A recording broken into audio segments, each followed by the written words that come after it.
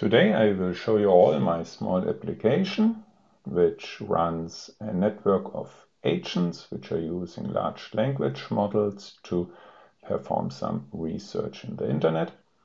So here we have my graphic card and here we will see all those open source large language models I have hosted on my PC. So everything is running on-prem, so I'm able to select those models here to perform my tasks for rewriting some text.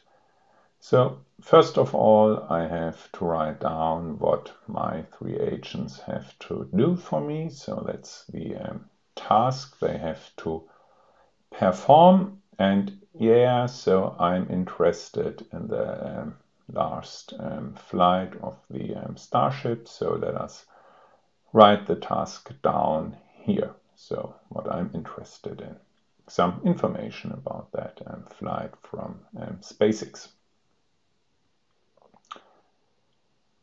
All right, that looks good. So here are the general tasks. So they are describing what the task is. So I have a task for the researcher agent, I have a task for the author writer agent, and I have a task for the business angel.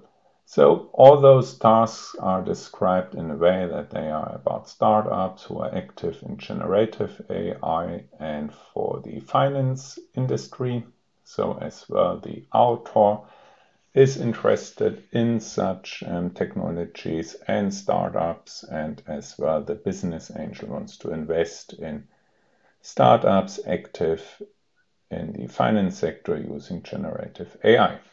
So I have to rewrite that that three tasks. So yeah, here are the um, agents. So that's a researcher with its rule, goal, and backstory. So yeah, he's a senior research analyst. We have the business angel, and here you see the same setup, role, goal, and backstory of that um, agent. And we have the author who's writing the um, text or the blog post article at the end. So as you see here as well, I have that drop down menu where I'm able to select those open source models. So Mistral is working very good. OpenHermes is good for the DuckDuckGo search. So let's start, I would guess. So yeah, we use that. OpenHermes model, here we see the usage of the GPU. And now press start generation. So first of all, the task will be rewritten for the author, for the researcher, and for the business angel. So that looks not so good for the researcher. So had failed to rewrite um, the tasks, but for the author and for the business angel, it's all about SpaceX and the flight of the Starship. So on the right side in the terminal window, we see the usage of the GPU. And here on the left side, we see the agent network working. So it's performing um, the research tasks via the DuckDuckGo search. And yeah, that takes a little bit time. So we have to wait for that. But at the end, it's quite fast, faster um, than when I would have done it by my own. And here we go.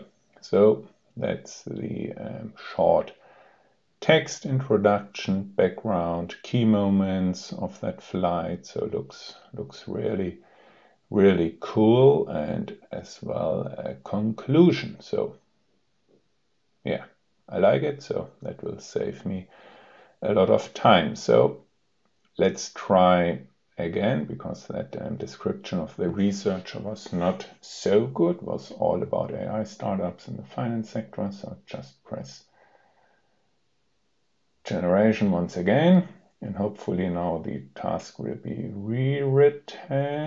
Mm, no. Ah here we go. So there is something regarding Starship and SpaceX. So yeah, maybe my conversational application in the background needs some tweaking at that point. But overall, it it looks looks really really um, good what results are produced. So hopefully now you will get as well a nice story about the um, third flight, I guess, third flight of the um, Starship. So here we see it's running and here we go. Yeah.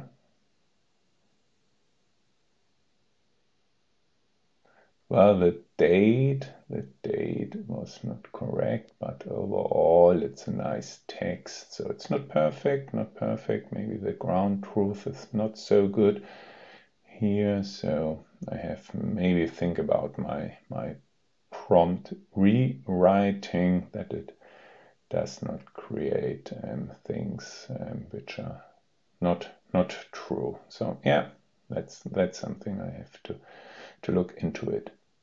So let's check how drones are reshaping the aviation industry in, in case of, of human transportation. So hopefully now the three tasks will be rewritten in a proper way that we could, could use them for for that um, analysis. So check that history for human transport. Yeah, that looks good for the research, uh, for the author as well. With some M, M and innovation. Yeah, for the business angel, it looks also that it is going in the good direction, but not really in investing money. So we will see. Here we see the um, network working. So it's performing those um, search queries um, via DuckDuckGo search and collecting the, the information and, and working working with that. And the GPU, the graphic card is running around about 90%. Here we had a short switch, um, I think, between between those large language models. So maybe the the author was crafting the um, final final text, how drones are reshaping the aviation industry, and yeah, I think I think if you're a student at school, high school, or whatever, it could could save you a little bit little bit time when you have to to um, prepare a speech or, or to do an analysis. And here we have a short conclusion on the topic as well. Yeah. So let us try something else. Hmm, not sure what we could could search for. Hmm.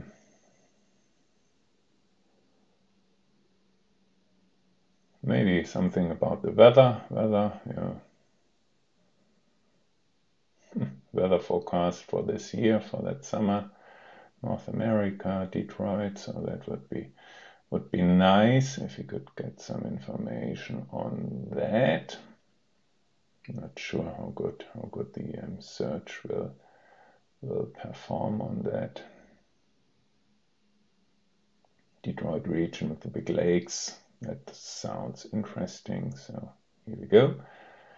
First of all, we have to rewrite our um, task descriptions. So weather forecast summer this year, North America, Detroit region. Uh, yeah, uh, that that looks good. And what is the business angel doing? Nothing regarding investments. So mm, that's that's perfect, but well, well, that's how it's going. So some code updates and tweaking is necessary here. So, but but overall, I'm I'm really happy with um, CrewAI as a framework, which I'm using here with Ollama as the um, hosting um, um, service server for my open source large language models. So, I really really like that that setup. It's working working quite quite well and is easy to to maintain and to update. So yeah, looking forward um, to use those techniques for um, new and updated um, applications in the field of conversational AI. Thank you very much for watching my video. See you.